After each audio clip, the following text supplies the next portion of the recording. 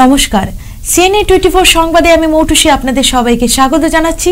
প্রথমে সংবাদ শিরোনাম। শুরু হলো বহু প্রতীক্ষিত বিয়াল্লিশ কোটি টাকার রাঙ্গের খাল গার্ড ওয়ালের কাজ। বিধায়ক সিদ্দেক আহমেদের সরকারি তহবিলের পঞ্চাশ লক্ষ টাকা আত্মসাৎ। সরকারি ইঞ্জিনিয়ারকে গ্রেফতার করল করিমগঞ্জ পুলিশ। ফের ব্যতিক্রমী রূপে মুখ্যমন্ত্রী। ধান খেতে দুপুরের আহার গ্রহণ ও শিশুর চিকিৎসার জন্য তাৎক্ষণিক আর্থিক অনুদান ডক্টর হিমন্ত বিশ্ব শর্মার। এবারে সংবাদ বিস্তারিত। শুরু হলো বহু প্রতীক্ষিত রাঙ্গের খাল, গার্ডওয়ার্ডের কাজ। মুখ্যমন্ত্রী শিলান্যাসের দশ দিনের মাথায় এই কাজ শুরু হয়েছে। দুই দিকের গার্ডওয়ার্ড তৈরির জন্য শুক্রবার কনকপুর এলাকায় নালাকে বেঁধে দেওয়া হয়েছে। কনকপুর বাজার থেকে সানলিট হাসপাতাল পর্যন্ত গার্ডওয়ার হবে। বরাদ্দ হয়েছে বিয়াল্লিশ কোটি টাকা। এই প্রকল্প বাস্তবায়িত হলে শহরের বন্যার আতঙ্ক অনেকটাই কমে যাবে কনকপুরের উপরিভাগ মহিষাবিল এবং সানলিট হাসপাতালের নিচের এলাকা পর্যন্ত এ ধরনের গার্ডওয়াল তৈরি করার জন্য ইতিমধ্যে ব্যবস্থা গ্রহণ করেছে বিভাগ। শুক্রবার কনকপুরে শুরু হওয়া কাজ পর্যবেক্ষণ করে এ কথা জানালেন জলসেচ বিভাগের এক্সিকিউটিভ ইঞ্জিনিয়ার দীপক গোস্বামী। আমার নাম দীপক গোস্বামী। আমি এখানের executive engineer Silchar division irrigation ডিপার্টমেন্টে আছি এবং সদ্য আমাদের, আমাকে এই চার্জটা দেওয়া হয়েছে। এই শিলচর অঞ্চলে সিআইডিএফ ফান্ডের তরফ থেকে রাঙ্গির খালের কাজ আরম্ভ হতে চলছে। আপনারা জানেন, বিগত উনত্রিশে নভেম্বর আমাদের এখানের শিলান্যাস আমাদের মাননীয় মুখ্যমন্ত্রী করে গেছেন এবং আমরা কাজ যেটা করছি, সেই প্রজেক্টের আনুমানিক ব্যয় হচ্ছে forty two point zero six crore rupees এই রাঙ্গির খালের কাজটা যেটা হবে, এটা দুই দিকে আমরা হেভি গার্ডওয়াল দিয়ে রাঙ্গির খালের বোথ সাইড আমরা প্রোটেক্ট করব এবং আমাদের যেটা রোড আছে রাইট সাইডে যেটা রোড আছে, এটা ভায়া শ্যামাপ্রসাদ ইয়ে হয়ে মন্দির হয়ে, শ্যামানন্দ আশ্রম হয়ে যেটা চলে গেছে, সেই দিকে রোডটা ওয়াইডেনিং হবে। এবং এটার বিউটিফিকেশনের জন্য এখানে স্ট্রিট লাইটেরও বন্দোবস্ত করা হয়েছে কিছু অংশে। তো এটা শিলচরবাসীর বহুদিনেরই একটা আকাঙ্ক্ষার জিনিস ছিল যে রাঙ্গির খাল, আপনারা জানেন এটা বিশেষ খাল। এবং সেটা দিয়ে আমাদের ফ্লাডের সময় maximum flood water flash flood water যাতে যেতে পারে, সেটার জন্য একটা ব্যবস্থা করা এবং সেটা মুখ্যমন্ত্রী এবং আমাদের বর্তমান যে স্থানীয় বিধায়ক রয়েছেন, দীপায়ন চক্রবর্তী মহাশয় ওনার উদ্যোগে এই কাজটা এইবার এই কাজটা আরম্ভ হতে চলছে। আর আমি মনে করি, আমরা এখন যেই কাজটা হাতে নিয়েছি সেই কাজটা হচ্ছে এটা। এখন কাজটা হবে আপনাদের কনকপুর বাজার থেকে সানলিট হসপিটাল হসপিটাল পর্যন্ত। তার পরবর্তী সময়ে আমরা এটা এগিয়ে নিয়ে যাব আমাদের বাংলাঘাট স্থিত এই ঘাগড়া অঞ্চলে এই জলটা যাতে আহ, সুপরিকল সুপরিক- পরিকল্পিতভাবে এই অ্যাক্সেস ফ্লাড ওয়াটারটা যাতে ওখানে গিয়ে ঘাগড়া অঞ্চলে যেতে পারে এবং আমরা বন্যার সমস্যা থেকে মুক্তি পাবো বলে আমি আশা করি। আপার স্ট্রিমের যে জায়গাটা রয়েছে মহিষাবিল পর্যন্ত প্রায় চার কিলোমিটার এর জন্য কোনো পদক্ষেপ নেওয়া হচ্ছে কি হ্যাঁ আপনি ঠিক বলেছেন। অ্যাকচুয়ালি কাজটা আমাদের যেটা সিআইডিএফ এর আন্ডারে হয় সেটা হচ্ছে সিটি ইনফ্রা ডেভেলপমেন্ট ফান্ড সেটা আমাদের কাজের সীমা থাকে আমাদের শহরাঞ্চলে কাজ করার জন্য। তো এই প্রজেক্টটা এখন শহরাঞ্চলে বলতে শহরাঞ্চলের স্টার্টিং যেই পয়েন্টটা কনকপুর বাজার থেকে আমরা সানলিট হসপিটাল পর্যন্ত করছি এবং আমাদের মুখ্যমন্ত্রী মহোদয় এখানে আসার পরে আমাদেরকে এখন এই ইয়েটা দেওয়া হয়েছে যাতে আমরা ওই পরবর্তী যে আমরা পদক্ষেপ নেব আরও ওইদিকে ডাউন স্ট্রিমে যেটা দশ কিলোমিটার আছে, সেটার জন্য ডিপিআর বানানোর জন্য আমাদেরকে ইনস্ট্রাকশন দিয়ে গেছেন। এবং এটার পরবর্তী যেই কাজটা রয়েছে, এটার আপস্ট্রিম সাইডে মানে কনকপুর বাজার থেকে যেটা মহিষাবিলকে কানেক্ট করেছে সেটা পরবর্তী পর্যায়ে এটা পদক্ষেপ নেওয়া যাবে যাতে ওখান থেকে মহিষাবিল থেকে জলটা সুপরিকল্পিতভাবে এই রাঙ্গির খাল দিয়ে চলে আসতে পারে। এটা দেখুন হাইট আমরা এখন ম্যানেজ যেটা করব, আমাদের যে রোডের যে হাইট আছে, এই হাইটের আমরা এই হাইটকে মেনটেন করে আমরা করব এখন। আর পরবর্তীকালে যদি রোড হাইট যদি বাড়েও তবে এটা কোনো অসুবিধা হবে না। আমরা সেইভাবে আমরা এই রিটেনিং ওয়ালের হাইটটাকে আমরা মেনটেন করে নিয়ে যাব।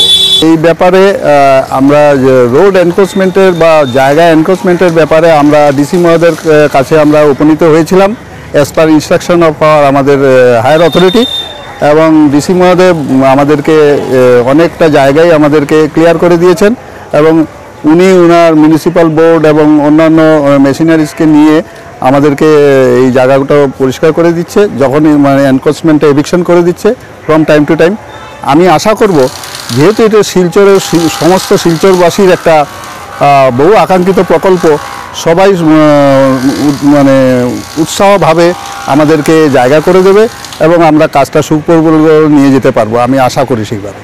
যেটা ডিসি মহোদয়, আমাদের এখানকার শিলচর সদরের সার্কেল অফিসারকে যেভাবে নির্দেশ দিয়েছেন এবং উনা থেকে আমি আমার এখানের ক্যাডাস্ট্রাল ম্যাপটা নিয়ে নিয়েছি এবং উনি আমাদেরকে দেখিয়ে দিয়েছেন কতটুকু জায়গায় এখানের খালের কতটুকু জায়গা আমাদের খাস জায়গা আছে এবং আমরা সেই মতোই আমরা কাজটা করে যাচ্ছি।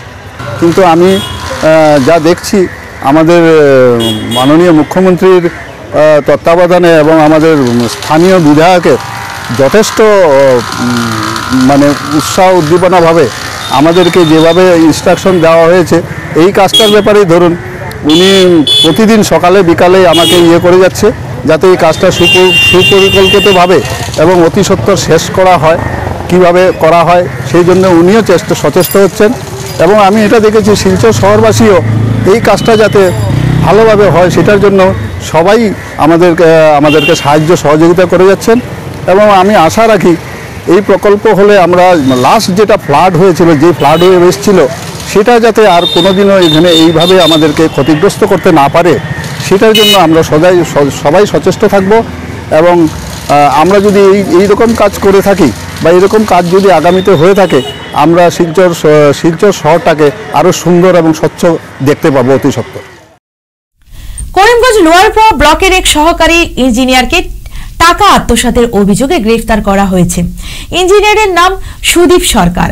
গত ফেব্রুয়ারিতে তিনি দক্ষিণ করিমগঞ্জ বিধায়ক সিদ্দিক আহমেদের তহবিল থেকে এক আত্মীয়ের অ্যাকাউন্টে পঞ্চাশ লক্ষ টাকা হস্তান্তর করেছিলেন তিনি। দক্ষিণ করিমগঞ্জের বিধায়ক সিদ্দিক আহমেদ পরে তহবিল চুরির কথা জানতে পেরে থানায় অভিযোগ দায়ের করেন। বিধায়ক সিদ্দিক আহমেদের অভিযোগের ভিত্তিতে করিমগঞ্জ জেলাশাসক সুদীপ সরকারকে তার অফিসে ডেকে পাঠান। পরে তাকে আটক করে পুলিশ। ঘটনাটি সম্পর্কে সাংবাদিকদের সাথে কথা বলতে গিয়ে দক্ষিণ করিমগঞ্জের বিধায়ক সিদ্দিক আহমেদ বলেন, সুদীপ সরকার এবং করিমগঞ্জ ডিডিসির এম এল এ তহবিলের অধীনে উন্নয়ন কাজের একটি যৌথ অ্যাকাউন্ট ছিল। কিন্তু আমি যখন মাঠে গিয়ে দেখি যারা মাটির কাজ করছে, তাদের ইঞ্জিনিয়ার বেতন দেয়নি। বিধায়ক বলেন, তিনি একটি পয়সাও দেননি এবং নানান অজুহাত দেখিয়ে এক বছর ধরে অর্থ প্রদানে বিলম্ব করতে থাকেন। পরে সে টাকা অন্য কারও কাছে হস্তান্তর করে। ফের ব্যতিক্রমী রূপে দেখা গেল রাজ্যের মুখ্যমন্ত্রী ডক্টর হিমন্ত বিশ্ব শর্মাকে। শুক্রবার গোলাঘাটে ধান খেতে বসে দুপুরের আহার গ্রহণ করলেন মুখ্যমন্ত্রী ডক্টর হিমন্ত বিশ্ব শর্মা। এদিন মুখ্যমন্ত্রীর সঙ্গে ছিলেন মন্ত্রী পরিষদের সহকর্মী মন্ত্রী অতুল বরা, কেশব মহন্ত, অজন্তা নিয়োগী নন্দিতা গালুরসা এবং অন্যান্য বিধায়কদের সাথে মধ্যাহ্নভোজন করেন তিনি। মুখ্যমন্ত্রী বললেন, আমি গ্রামের এই সকল মাছিদের সাথে অংশ হতে পেরে খুব খুশি হয়েছি। তাদের কঠোর পরিশ্রম এবং ত্যাগ আসামের জনগণকে স্বপ্নকে বাস্তবে পরিণত করায় গভীরভাবে অনুপ্রাণিত হয়েছি। এদিকে এদিন গোলাঘাটের আবর্ত ভবনে মুখ্যমন্ত্রী এগারো বছর বয়সী একটি শিশুর চিকিৎসার আশ্বাস দেন। তার চিকিৎসার খরচ বহন করার বাবার কাছে কিছু আর্থিক সাহায্য তুলে দেন। আৰু অলপ কাপোৰ কানি লৈ যাব, একেলগে যদি বাহিরে লৈ যাব লাগে, লগে লগে লৈ যাব। মাককো লৈ আহিব হ'ব না? এটা কাম কৰকচোন এওঁক লৈ যাব দিব টকা দহ হাজাৰৰ চেক এখন যদি বাহিৰত যাব লাগে তেতিয়া লৈ যাব। এতিয়া চেক এখনো দি দিব বাহিৰত যোৱাৰ কাৰণে কাপোৰ কানি লৈ আহিব বুজি পালেনে? আৰু একেবাৰে মই বাহিৰত পঠাই দিম তাত ট্ৰিটমেণ্ট আগতে ক'ত ক'ত ট্ৰিটমেণ্ট কৰাইছিলে এটা কাম কৰক মই আহ, কৰি দিছোঁ তাক আমাৰ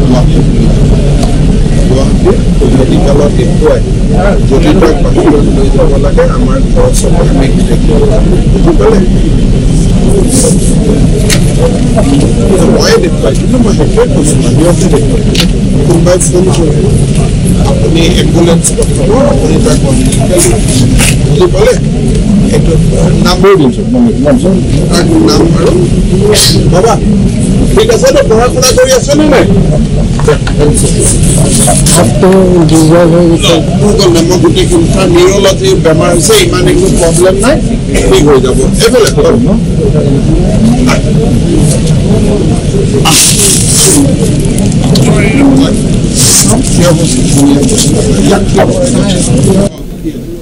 শিলচরে ক্যাবিনেট বৈঠক ঐতিহাসিক। হাইলাকান্দি জেলার উপযুক্ত নেতৃত্বের অভাবে সংখ্যালঘুরা আশানুরূপ উন্নয়ন থেকে বঞ্চিত, বললেন সংখ্যালঘু নেতা। অসমের কর্মতৎপর মুখ্যমন্ত্রী ডক্টর হিমন্ত বিশ্ব শর্মা বলিষ্ঠ ভূমিকায় প্রথমবারের মতো বরাকের শিলচরে ক্যাবিনেট বৈঠক অনুষ্ঠিত হয়েছে। এই বৈঠক এক ঐতিহাসিক। অসম রাজ্যে বিজেপি সরকারের আমলে সংখ্যালঘুরা অধিক উপকৃত হয়েছে। আগে কখনো এভাবে বরাকে ক্যাবিনেট বৈঠক অনুষ্ঠিত হয়নি। আজ হাইলাকান্দিতে সংবাদ মাধ্যমের সামনে এভাবে অভিমত তুলে ধরেন বিজেপি সংখ্যালঘু মোর্চার রাজ্যিক কার্যনির্বাহী সদস্য আনসারুল হক চৌধুরী। প্ৰথমে মই আপোনালোকৰ গোটেই চেনেলক আন্তৰিকভাৱে মই ধন্যবাদ জনাইছোঁ আৰু আমাৰ অসমৰ চৰকাৰৰ কিছুদিনমান আগত এটা কেবিনেট ঐতিহাসিক কেবিনেট পাতিছিলে শিলচৰ এই কেবিনেটত যিটো প্ৰকল্প ওলাইছে এই প্ৰকল্প আমাৰ গোটেই বৰাকবেলিৰ মানুহ উপকৃত হ'ব আৰু আমি অসমৰ মাননীয় মুখ্যমন্ত্ৰী ডক্টৰ হিমন্ত বিশ্ব শৰ্মা ডাঙৰীয়াক আমি আন্তৰিকভাৱে ধন্যবাদ জনাইছোঁ যে অহা দিনত আৰু আমাৰ বিভিন্ন ধৰণৰ প্ৰকল্প উন্নয়ন বৰাকত হ'ব আমি আশা কৰিলোঁ। আৰু এটা কথা মই ক'ব বিচাৰিছোঁ যে অসমৰ আমাৰ সংখ্যালঘু মানুহে বৰ্তমান সময়ত আমাৰ যি চৰকাৰ আছে ভাৰতীয় জনতা পাৰ্টীৰ চৰকাৰ বা আমাৰ মাননীয় মুখ্যমন্ত্ৰী ডক্টৰ হিমন্ত বিশ্ব শৰ্মা ডাঙৰীয়া এজন মানে কামৰ বা উন্নয়নৰ মুখ্যমন্ত্ৰী এতিয়া আমালোকে পাইছোঁ। কিন্তু আমাৰ গোটেই অসমৰ সংখ্যালঘু মানুহে এতিয়াও বুজি নাপায়। কাৰণ আমাৰ অসমত কিছুবিলাক মানে কৌমী নেতা আছে। এই নেতাবিলাকে আমাৰ সংখ্যালঘু মানুহৰ ব্ৰেইনত ইমান এটা বস্তু সোমাই দিলে যে সংখ্যালঘু মানুহে ভাৰতীয় জনতা পাৰ্টীত ভোট দিলে। চৰকাৰে বিভিন্ন ধৰণৰ মুছলমান মানুহৰ ক্ষতি কৰিব। সেইটো আমাৰ সংখ্যালঘু মানুহে বয় খাই কিনি আমাৰ চৰকাৰৰ আৰু সংখ্যালঘুৰ মাজত এটা বিভাজন সৃষ্টি কৰি ৰাখিলে। সেইকাৰণে মই গোটেই অসমৰ সংখ্যালঘু মানুহৰ এটা কথা মানে অনুৰোধ কৰিছোঁ যে আমাৰ এই যে ভাৰতীয় জনতা পাৰ্টীৰ চৰকাৰ অসমত বা আপোনাৰ কেন্দ্ৰীয়ত চৰকাৰে আমাৰ সংখ্যালঘু আৰু আপোনাৰ হিন্দু মুছলিম খ্ৰীষ্টান গোটেই জনগোষ্ঠীৰ একো আঁচনিৰ পৰা কোনো মানুহক বঞ্চিত নকৰে। বিশেষ কৰি আমা- আমালোকে চৰকাৰৰ লগত আছোঁ আমি ভাৰতীয় জনতা পাৰ্টীৰ কাৰ্যনিৰ্বাহী সদস্য হিচাপে আমিতো গোটেই বস্তুটো দেখিলোঁ যে চব জনগোষ্ঠীৰ মানুহৰ পৰা আমাৰ সংখ্যালঘু মানুহ বেছি উন্নতি হৈছে। আৰু চৰকাৰে আমাৰ সংখ্যালঘু মানুহত বিশেষ কৰি গুৰুত্ব দিছে। সেইকাৰণে আমি সংখ্যালঘু মানুহত বাৰ বাৰ অনুৰোধ কৰিছোঁ যে আপোনালোকে আমাৰ চৰকাৰৰ লগত থাকক। আমাৰ চৰকাৰে যেনেকা কাম কৰি গৈছে আমাৰ চৰকাৰে উন্নয়ন কৰিব আৰু আমাৰ চৰকাৰ সদায় থাকিব। আৰু এটা কথা যে আমাৰ আমি যোৱা নিৰ্বাচনত আম- আমাৰ চৰকাৰৰ আমাৰ ভাৰতীয় জনতা পাৰ্টীত সংখ্যালঘুৰ বহুত ভোট আমি আমালোকে পাইছোঁ আৰু আশা কৰিছোঁ ভৱিষ্যততো আমালোকে বহুত মানে সংখ্যালঘুৰ ভোট পাম আৰু এই অনুৰোধ আমাৰ যে আমাৰ সংখ্যালঘু মানুহ আমাৰ লগত থাকক আমি সহায় কৰিম। আৰু এইবিলাক আহ, মুখোশধাৰী কিছুবিলাক কৰ্মী ঠিকাদাৰ আছে যিবিলাকে নিজৰ স্বাৰ্থৰ কাৰণে আমাৰ সংখ্যালঘু মানুহৰ বিভিন্ন বিভ্ৰান্তিমূলক ইয় কৰি ভোট লোৱাৰ চেষ্টা কৰে আৰু পিছত আমাৰ এইবিলাক মানুহে সংখ্যালঘু মানুহৰ গুৰুত্ব নিদিয়ে গোটেই গুৰুত্ব আমাৰ চৰকাৰে দি থাকে আৰু এইবিলাক মানুহৰ লগত কৌমী ঠিকাদাৰৰ লগত থাকিখিনি আমাৰ সংখ্যালঘু মানুহৰ বদনাম হৈছে আমালোকৰো বদনাম হৈছে। সেইকাৰণে আমি অনুৰোধ কৰিছোঁ আমাৰ সংখ্যালঘু মানুহ যাতে আমাৰ লোকৰ সহায় কৰে আমি আমালোকে তেখেতৰ সহায় কৰিম। বিধায়কৰ ভূমিকাত আপুনি কি ক'ব? চাওক তিনিজন বিধায়ক আমাৰ হাইলাকান্দিত তিনিটা সমষ্টিত কিন্তু আমি আজিৰ দিনত ভালকৈ দেখা নাই যে বিধানসভাত আমাৰ হাইলাকান্দিৰ বিষয় লৈ তিনিজন বিধায়কে মানে উচ্চস্বৰে কিবা মানে কোনো উন্নয়নমূলক কাজৰ মানে কথা পাতা। কিন্তু তেখেতৰ নিজৰ নিজ স্বাৰ্থৰ কাৰণে নিজ স্বাৰ্থৰ কাৰণে কিবা এটা আছে হে তেখেতে নিজৰ স্বাৰ্থৰ কাৰণে কথা নাপাতে আৰু তেখেতৰ স্বাৰ্থ চলি আছে। জনগণৰ আহ, আমাৰ ৰাইজৰ উন্নয়নৰ কাৰণে বা আমাৰ সংখ্যালঘুৰ কাৰণে তেখেতে মাত নামাতে। আৰু এই বিষয়লৈ মই কি ক'ম? এইটোতো রাইজে আজিকালি গম পায়। কেন্দ্র থেকে বাড়ি ফেরার পথে বাইক দুর্ঘটনায় প্রাণ হারালেন অঙ্গনারী কর্মী জল্পনা আকুরা। বৃহস্পতিবার সকাল সাড়ে এগারোটা নাগাদ পানগ্রাম তৃতীয় খণ্ডে এই দুর্ঘটনাটি ঘটে। চলন্ত বাইক থেকে পড়ে গিয়ে তার মাথায় প্রচণ্ড আঘাত লাগে। চণ্ডীগড় চা বাগানের বাসিন্দা বছর পঞ্চাশের কল্পনাকে উন্নত চিকিৎসার জন্য সঙ্গে সঙ্গে নিয়ে আসা হয় শিলচর মেডিকেল কলেজ ও হাসপাতালে। সেখানে কর্তব্যরত ডাক্তাররা তাকে মৃত বলে ঘোষণা করেন। চণ্ডীগড় চা বাগানের বত্রিশ নম্বর অঙ্গনারী সেন্টারে সুনামের সঙ্গে দীর্ঘদিন ধরে কাজ করে আসছিলেন তিনি। ফিরছি একটি বিরতির পর। সঙ্গে থাকুন। Doctor Partha Karmakar kidney specialist nephrologist কলকাতার বিখ্যাত ফর্টিস হসপিটালের বিশেষজ্ঞ ডাক্তার। এখন শিলচর সাউথ সিটি হসপিটালে প্রতি মাসের প্রথম বুধবার রোগী দেখবেন। যারা কিডনি সংক্রান্ত বিষয়ে ডাক্তারের সুপরামর্শ এবং চিকিৎসা করাতে চান, তারা অতি সত্বর সাউথ সিটি হসপিটাল মেহেরপুর শিলচরে যোগাযোগ করুন এবং নিজেদের নাম রেজিস্ট্রেশন করুন। Zero three eight four double two four zero three seven two এই নাম্বারে। ধন্যবাদ। নমস্কার। আমি ডক্টর পার্থ কর্মকার, কলকাতার কিডনি রোগ বিশেষজ্ঞ এবং কিডনি ট্রান্সপ্ল্যান্ট ফিজিশিয়ান। আমি প্রতি মাসের প্রথম বুধবার শিলচর শহরে সাউথ সিটি হসপিটালে আসছি। কিডনির জটিল রোগে যারা ভুগছেন, যাদের ডায়ালিসিস চলছে এবং কিডনির প্রতিস্থাপন যাদের দরকার, তারা যোগাযোগ করতে পারেন সাউথ সিটি হসপিটালের সাথে। যোগাযোগের phone number eight eight seven six five seven zero five two zero. নমস্কার। ফিরে এলাম বিরতির পর। বোয়ালিপাড় নিতাইনগর ভায়া মোহনপুর বিএনএম পূর্ত সড়ক সংস্কারের দাবিতে অসম জাতীয়তাবাদী যুব ছাত্র পরিষদের নিতাইনগর আঞ্চলিক সমিতির উদ্যোগে আগামী চোদ্দ ডিসেম্বর বুধবার নিতাইনগরে অবস্থান ধর্মঘট। কর্মসূচি এবং হাইলাকান্দি শিলচর রোডে কাঠাকাল নদীর উপর থাকা মাটি জুড়ি সেতু সংস্থানে বহাল রেখে নির্মাণের দাবিতে বৃহত্তর পূর্ব হাইলাকান্দির জনগণকে নিয়ে আগামী পনেরো ডিসেম্বর বৃহস্পতিবার মাটিজুড়ি ব্যাংকের সম্মুখে এক ঘণ্টা সড়ক অবরোধ কর্মসূচি হাতে নিয়েছে অসম জাতীয়তাবাদী যুব ছাত্র পরিষদের হাইলাকান্দি জেলা সমিতি। আজ হাইলাকান্দি জেলা সদরে এক সাংবাদিক সম্মেলন করে প্রতিবাদী কর্মসূচির কথা ঘোষণা করেন অসম জাতীয়তাবাদী যুব ছাত্র পরিষদের হাইলাকান্দি জেলা সমিতির কর্মকর্তারা। সাংবাদিক বন্ধুসকল, আমি অসম জাতীয়তাবাদী যুৱ ছাত্ৰ পৰিষদৰ আহিলাকান্দি জিলা সমিতিয়ে এখন সংবাদমেল আমি পাতিছোঁ। মূল কথা হৈছে, আপোনালোকে জানে যে আমি হাইলাকান্দি জিলাত অসম জাতীয়তাবাদী যুৱ ছাত্ৰ পৰিষদে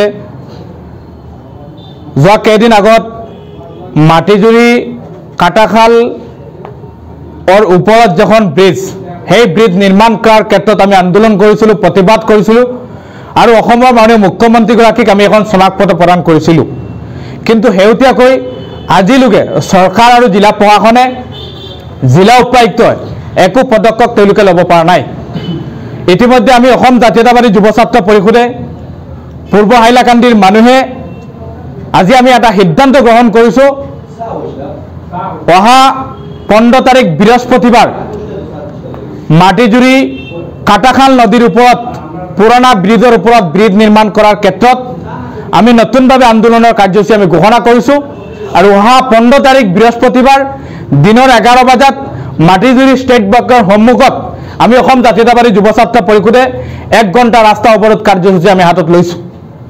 অন্য হাতেদি, আমি অসম জাতীয়তাবাদী যুৱ ছাত্ৰ পৰিষদে সমগ্ৰ পূৰ্ব হাইলাকান্দিৰ, সমগ্ৰ মাটিজুৰি আৰু সমগ্ৰ পূৰ্ব হাইলাকান্দিৰ অসম জাতীয়তাবাদী যুৱ ছাত্ৰ পৰিষদৰ প্ৰত্যেকগৰাকী সদস্যক ইয়াৰ পৰা আহ্বান জনাইছোঁ যে অহা পোন্ধৰ তাৰিখত বৃহস্পতিবাৰৰ দিনত, দিনৰ এঘাৰ বজাত মাটিজুৰি ষ্টেট বেংকৰ সন্মুখত সকলোৱে জমায়েত হ'ব লাগে আৰু মাটিজুৰি পুৰণা ব্ৰিজৰ ওপৰত ব্ৰিজ নিৰ্মাণ কৰাৰ ক্ষেত্ৰত ইয়াত আমি এক ঘণ্টা প্ৰতিবাদী কাৰ্যসূচী আমি ৰূপায়ণ কৰিম। অন্য হাতেদি আমি অসম জাতীয়তাবাদী যুৱ ছাত্ৰ পৰিষদে এইবাৰৰ বানপানীৰ সময়ত আমি দেখিছিলোঁ যে মাটিজুৰি যিটো পুৰণা ব্ৰিজ আছে এই ব্ৰিজৰ পশ্চিম পাৰত ব্যাপকভাৱে এটা বাংগন দিছিলে। সেই বাংগন মেৰামতি কৰাৰ ক্ষেত্ৰত আমি ফ্লাড কণ্ট্ৰল বিভাগ আৰু জিলা উপায়ুক্তগৰাকীক আহ্বান জনাইছিলোঁ আৰু শেহতীয়াকৈ এই বাংগা নিৰ্মাণ কৰাৰ ক্ষেত্ৰত ইতিমধ্যে তেওঁলোকে কাম কৰিবলৈ লৈছিলে। আমি শুনামতে তেওঁলোকে চল্লিছ লক্ষ টকাৰ কাম কৰিছে। কিন্তু ইয়াত আমি দেখা পাইছোঁ তেওঁলোকে কাম কৰিব পৰা নাই আৰু তেওঁলোকে কাম কৰিব কৰিছে। সেই কথাবিলাক ইতিমধ্যে মানুহে আচৰিত লগে ভাবিছে। গতিকে এই চল্লিছ লক্ষ টকাৰ কাম মাটিজুৰি পশ্চিম পাৰ যে ব্ৰিজৰ সন্মুখত ক'ত হৈছে ক'ত কৰিছে কি পৰ্যায় কৰিছে এইটো এটা এইটো এটা ইনভেষ্টিগেশ্যন হ'ব লাগে তদন্ত হ'ব লাগে। আৰু কোন কণ্ট্ৰেক্টাৰে কৰিছে এতিয়াও আপোনালোকে চাব পশ্চিম পূৰ্ব হাইলাকান্দিৰ মানুহে ব্যাপকভাৱে তেওঁলোকে ইয়াত যাতায়াত কৰে। আৰু এই ব্ৰিজেদি কোন সময়ত কোন ঘটনা সংঘটিত হ'ব কোনো এখন মানুহে ক'ব নোৱাৰে। গতিকে পূৰ্ব হাইলাকান্দিৰ এই ব্ৰিজ যদি নিৰ্মাণ নহয় পূৰ্ব হাইলাকান্দি অন্ধকাৰৰ মুখত যাব। পূৰ্ব হাইলাকান্দিৰ মাটিজুৰি অন্ধকাৰ হ'ব চামাৰিকোনা অন্ধকাৰ হ'ব নিমাই চন্দ্ৰপুৰ অন্ধকাৰ হ'ব আৰু মাটিজুৰিত এটা বৃহৎ মাৰ্কেট এই মাৰ্কেট জংঘল হিচাপে পৰিণত হ'ব। গতিকে অতি সোনকালে চৰকাৰ আৰু জিলা উপায়ুক্তই সিদ্ধান্ত ল'ব লাগে আৰু আমি অসম জাতীয়তাবাদী যুৱ ছাত্ৰ পৰিষদে যি প্ৰতিবাদী কাৰ্যসূচী আমি গ্ৰহণ কৰিম আৰু সেই প্ৰতিবাদী কাৰ্যসূচীত আমি এটা কথা দাবী উত্থাপন কৰিম যে পুৰণা ব্ৰিজৰ ওপৰত ব্ৰিজ নিৰ্মাণ হ'ব লাগে। পূৰ্ব হাইলাকান্দিৰ স্বাৰ্থে মাটিজুৰিৰ স্বাৰ্থে পূৰ্ব অঞ্চলৰ স্বাৰ্থে অন্য হাতেদি যি যিগৰাকী কণ্ট্ৰেক্টাৰে হওক না কিয়, যে মাটিজুৰিৰ ব্ৰিজৰ পূৰ্ব পশ্চিম পাৰত যিটো কাম হৈছে, এইটো আচলতে কাম নহয়, এইটো কোন ধৰণৰ কাম, কি পৰ্যায় কৰা হৈছে, উচিত তদন্ত কৰিবৰ কাৰণে পুনৰবাৰ আমি অসম জাতীয়তাবাদী যুৱ ছাত্ৰ পৰিষদে আহ্বান জনাইছোঁ। উধারবন শিক্ষাখণ্ডের অন্তর্গত উধারবন ক্লাস্টারের উদ্যোগে বিভিন্ন কর্মসূচির মাধ্যমে সম্প্রদায় উৎসবের আয়োজন করা হয়। স্থানীয় জয়রাম জুনিয়র বেসিক স্কুলে আয়োজিত অনুষ্ঠানের প্রধান অতিথি হিসেবে উপস্থিত ছিলেন উধারবন্দের বিধায়ক মিহির কান্তি সোম। এদিন সকালে প্রভাত ফেরির মাধ্যমে দিনব্যাপী অনুষ্ঠানের সূচনা হয়। পরে পড়ুয়াদের মধ্যে নানা প্রতিযোগিতামূলক অনুষ্ঠানের পাশাপাশি বিজ্ঞান প্রদর্শনীর আয়োজন করা হয়। সম্প্রদায় উৎসব উপলক্ষে এদিন প্রাক্তন এ এবিআরপি অরিন্দম চক্রবর্তীর সভার নেতৃত্বে এক সভা অনুষ্ঠিত হয়। সভার শুরুতে অতিথিদের বরণ করা হয়। পরে বক্তব্য রাখতে গিয়ে সম্প্রদায় উৎসবের বিভিন্ন বিস্তারিত তুলে ধরেন বক্তব্য রাখেন অরিন্দম চক্রবর্তী।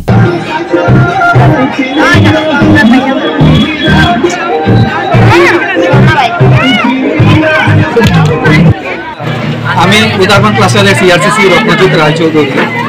এখানে আমরা জয়রাম স্কুলের মাঠে বিরাটভাবে কমিউনিটি ফেস্টিভ্যাল যেটা সাম্প্রদায়িক উৎসব। প্রতি বছরেই সরকারি পদক্ষেপে এটা বিভিন্ন প্রান্তে এডুকেশন ব্লকের আন্ডারে কি হয় ক্লাস্টারগুলোতে করা হয়।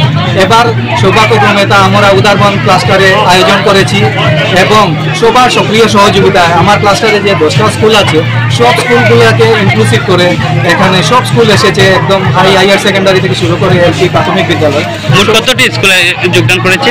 দশটা স্কুল ক্লাস্টারে দুটা হাই স্কুল একটা হাইয়ার সেকেন্ডারি স্কুল আর এলপি স্কুল সাতটা, একটা ইউপি স্কুল সব মিলে দশটা স্কুল নিয়ে আমার ক্লাস্টারের প্রত্যেকটা শিশু, প্রত্যেকজন শিক্ষক এবং সম্প্রদায়ের আমাদের অভিভাবকগণ প্রেসিডেন্টের প্রত্যেক স্কুলের পরিচালনা সমি- সমিতির সভাপতি সবাই আজকে এখানে উপস্থিত। আর সত্যি আমাদের উপস্থিত হয়ে মানে আমাদের উৎসাহ বর্ধন করেছেন এবং আমাদের এখানে ডিস্ট্রিক্ট লেভেলেরও আধিকারিকরা এসেছেন এবং সব মিলে অনুষ্ঠানটা একটা জাঁকজমকপূর্ণ রূপ পেয়েছে প্রতি বছরের মতো এবছরও শিলচর ন্যাশনাল হাইওয়ে শ্রী শ্রী রাধারমন সেবাশ্রমে সাত, আট, নয় ডিসেম্বর তথা বুধ, বৃহস্পতি শুক্রবার রাধারমন গোস্বামীর একশো আটতম আবির্ভাব উৎসব উদযাপন করা হয়েছে। সাত ডিসেম্বর তথা বুধবার অধিবাস স্নানাভিষেক শ্রী শ্রী রাধারমণের প্রতিকৃতিতে উৎসব মণ্ডপে আনয়ন ও স্থাপন উপ- উপাসনা ও রাত্রি সাতটা ত্রিশ মিনিটে আবির্ভাব উৎসবের শুভ অধিবাসের মাধ্যমে অনুষ্ঠানের শুভারম্ভ করা হয় এবং নয় ডিসেম্বর তথা শুক্রবার সকালে শ্রী শ্রী রাধারমণ গোস্বামী জিওর প্রতিকৃতি সহ সংকীর্তন, সহযোগে নগর পরিক্রমা, নন্দস্ব ভোগ নিবেদন, ভোগ আরতি, দীক্ষাদান সহ আরও সনাতন ধর্মীয় অনুষ্ঠানের মাধ্যমে সমাপন ঘটে।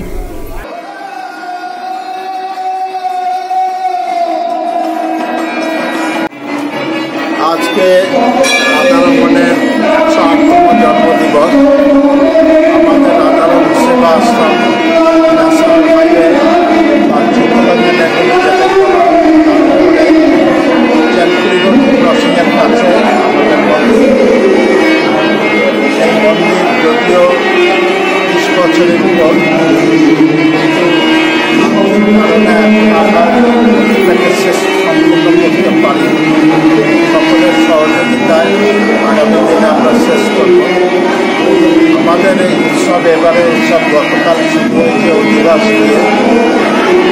বিকালে সন্ধ্যার সময় অধিবাসে।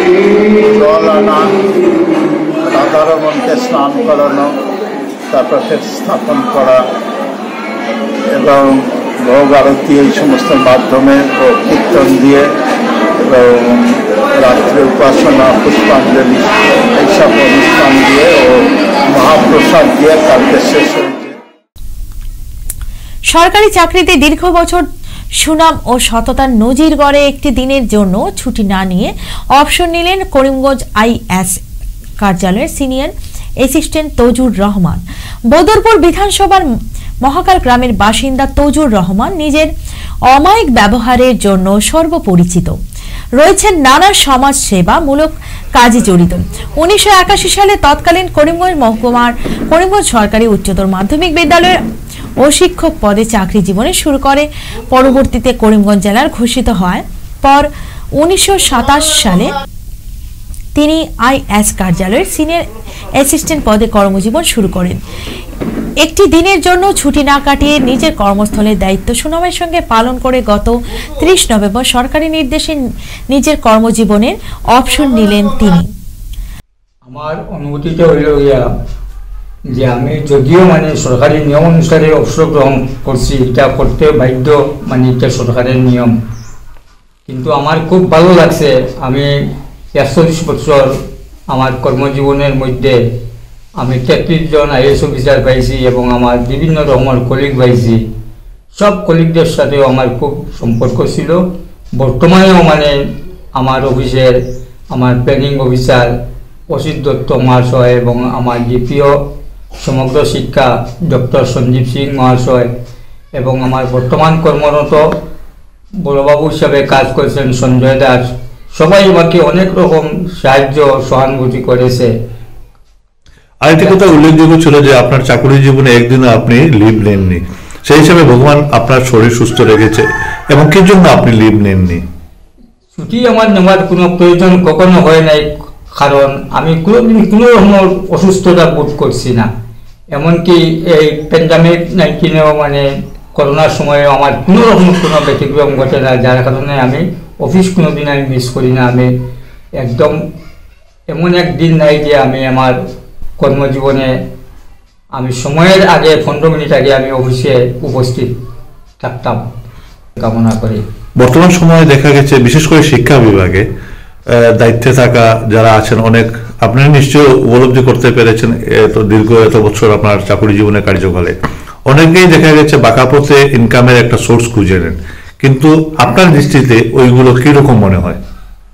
এইরকম আমার অফিসে মানে সাধারণত আমার করিমগঞ্জ ডিস্ট্রিক্টর স্কুল অফিসে এই বাঁকাবতের কোনো সূচনা কোনোদিন ছিল না এবং বর্তমানেও নেই। আমরা একদম সকলেই মিলেমিশে যাহাতে কোনো শিক্ষকদের কোনো ছুটি, কোনো রকমের কোনো কাজকর্ম ব্যাঘাত না ঘটে। কোনো সময় হয়তো একটু ঘটে অফিসার স্টেশনে না থাকার কারণে, কিন্তু বাঁকাবতের কোনো সন্ধান আমাদের অফিসে নাই। আশা করি থাকবেও না এবং আমরা কখনো এইসব লিপসা করি না যে ওইসব করলে এইটা হবে আজকে সিএনএ টোয়েন্টি ফোরের সংবাদ এই পর্যন্তই, নমস্কার।